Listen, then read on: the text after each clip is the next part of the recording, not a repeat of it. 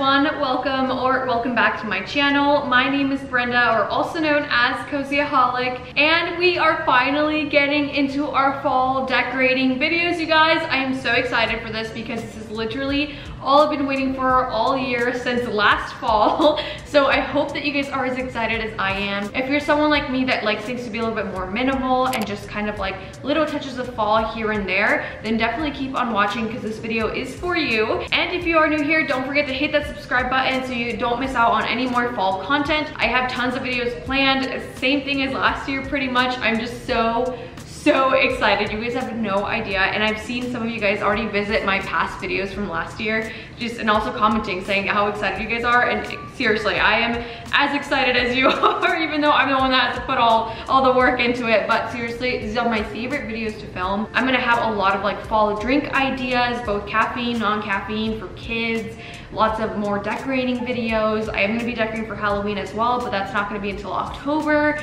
And then of course, my well-known videos, my cozy fall nighttime routines, Halloween nighttime routines. Those are all gonna be coming out on my channel very, very soon. So anyways, if you're not subscribed, make sure you do right now. And also, if you guys do enjoy watching this video and you wanna see more videos like these, make sure to give this video a thumbs up. It means the world seeing you guys support my channel and just letting me know that you actually do enjoy watching this content. So make sure to give it a thumbs thumbs up. And anyways, let's go ahead and hop right into it. All right, so starting off with the entryway, I'm gonna go ahead and just wipe it down really quick with some water and a towel. And then if you guys noticed, I do have a new mirror here. This one, I decided to mount it because it was just a little bit too short to leave it leaning on the console table itself. But I kind of like the way this looks. And if I ever do want to upgrade to maybe a taller mirror, then I will definitely lean it. But for now, I went ahead and just mounted it onto the wall and then right next to it I put this picture frame that's from the Studio McGee collection at Target and then right next to that I put a vase that I found at Home Goods with some Afloral foliage.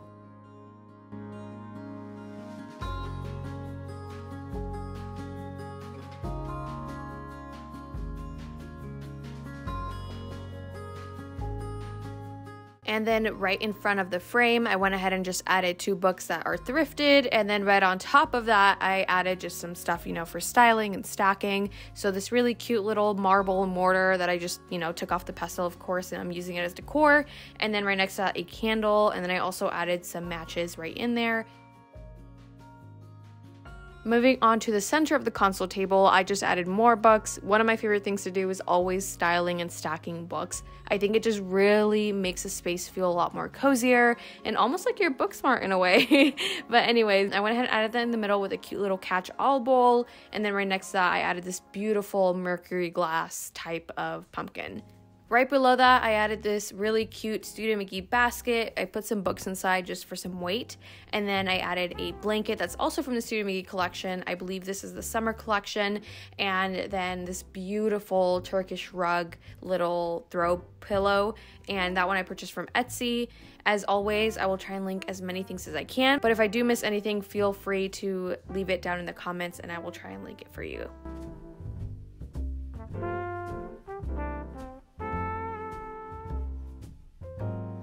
This is the look for the entryway. Very, very simple, lots of styling going on here. Definitely a lot more than I'm usually used to, but I do love it so much. I might end up moving a couple things here and there. As you guys know, I'm always moving things around, but so far I love this look so much. I might actually end up changing the lamp, but other than that, I think I kind of like everything.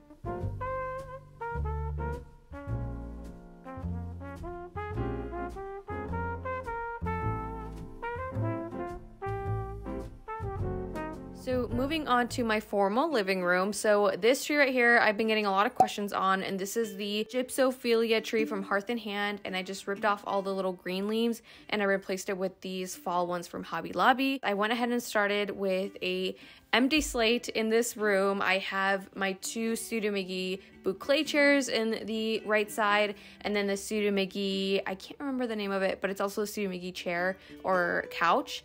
Um, and then a Loloi olive and charcoal rug. And then my coffee table, I actually DIYed myself. I will go ahead and leave the link to my blog on how I did that down in the description box below for you guys as well. So, one of my favorite things to do is to always style coffee tables. There's just so many different ways that you can do this. Honestly, that it's just like an infinite amount of ways. So, it's always an ever changing thing for me where I'm always changing things around. Um, and I do have a video on some coffee stable coffee table styling ideas if you guys are interested in watching that.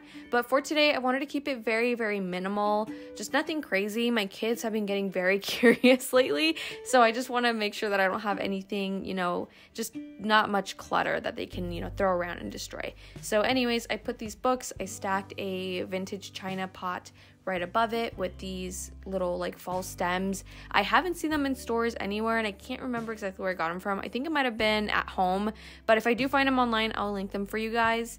And then right next to that, I have this book right here and I just opened it. I think it gives it a more lived in, relaxed space. So, and it also kind of invites people to kind of scroll through the book and and read through it cuz you know, you just don't want books sitting there. And honestly, I love this picture right here. So I picked that center one. I love it so much. It gives me so much inspiration. So, anyways, I went ahead and opened this book up. And then right in front of that, I just added a candle.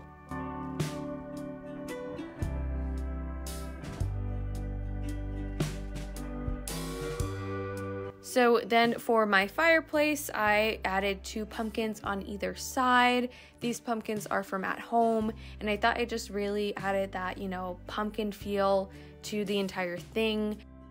And then for the couch, I wanted to make it feel a lot more cozy. This is a very small sofa. I've had a lot of people ask me how I like it, and although it is a beautiful sofa, I definitely don't recommend it for daily use. I do sit on it occasionally, um, and I am a small person. I'm 5'1, so this couch is kind of perfect for me. but if you're taller, it probably wouldn't be the most comfortable. I literally can put my head and my feet will touch all the way to the end. It's a very, very small sofa, but it's perfect for small spaces or for anywhere that you just want to style and make it look nice and fancy instead of like, you know, you know what I mean.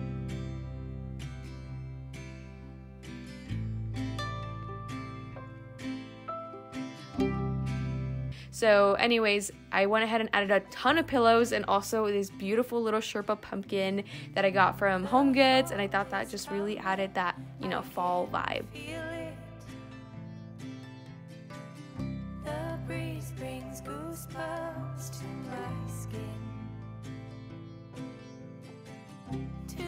And then to finish off the living room, I added my Our House ottomans. Yes, they're a little dirty. Um, I haven't had a chance to clean them. I read the little tag and it said to not wash them. So that kind of scared me away. And um, yeah, they're very dirty. My kids have just attacked them with yogurt and stuff. So I'm still kind of like on the fence of whether I want to wash these or even spot clean them because it says to not even spot clean them. So I'm just like, I'm terrified to touch these. So for now, they're a little dirty, but the blanket covers it all. it hides my problems.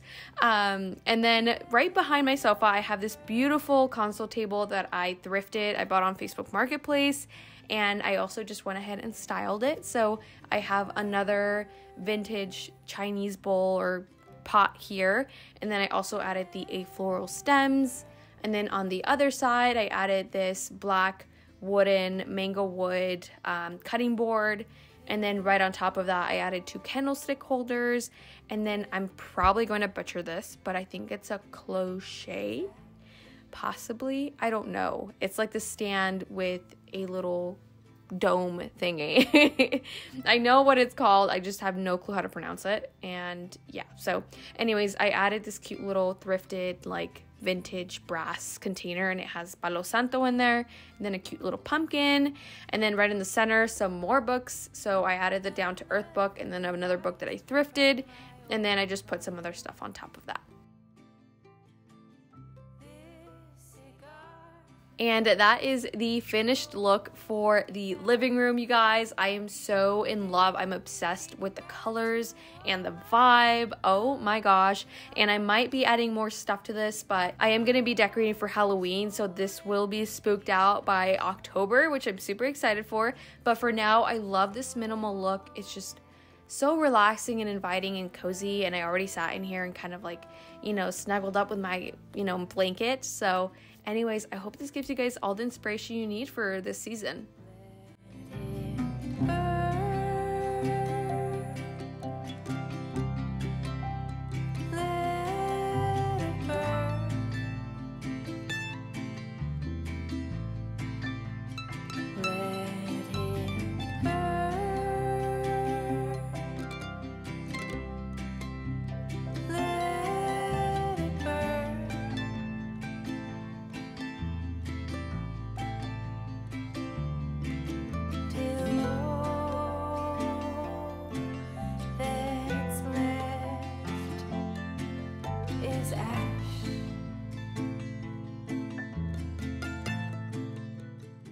Alright you guys, and that is it for today's video. I really, really hope that you enjoyed. And anyways, I will see you in my next one.